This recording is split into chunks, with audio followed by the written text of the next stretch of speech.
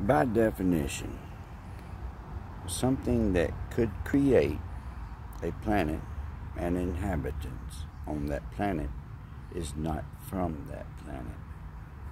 Therefore, the Creator would be labeled an alien by the planet and the people of the planet's definition.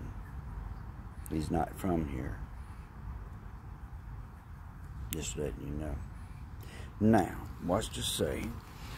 And uh, the Lord has already said that He was the Lord of all lords. We're the Lord of this land.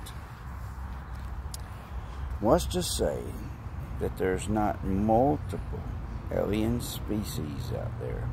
And they've done had their wars and they got a top dog. And the top dog is our God.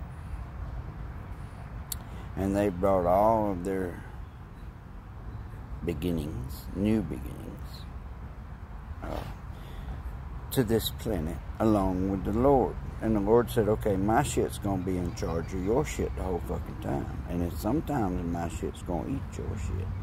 But we're going to allow your shit to propagate and do the same thing that I'm doing. Build more wars. This was a nursery for warriors of all different kinds. And what if that's true? What if our job as the top baby in a nursery of the universe, because they've done come to their own conclusions and figured out where they belong amongst each other, and this is a common nursery.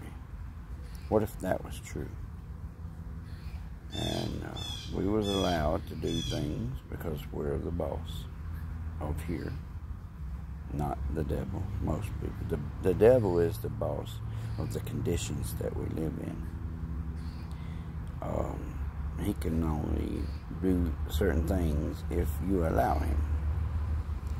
So what if this was a nursery for all of the intergalactic species? I'm going to use that word. I don't but what if that was true? I'm getting interrupted.